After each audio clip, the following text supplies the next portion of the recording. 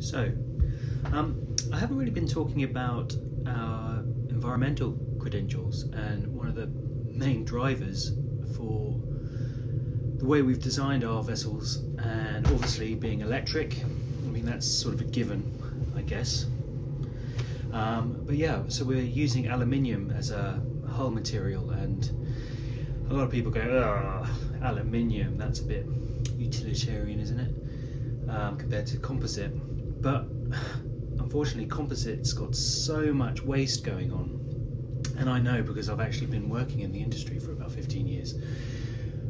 And I've sort of realized that it's not the way to go anymore. I mean, what happens when you uh, when you're finished with it or it's broken?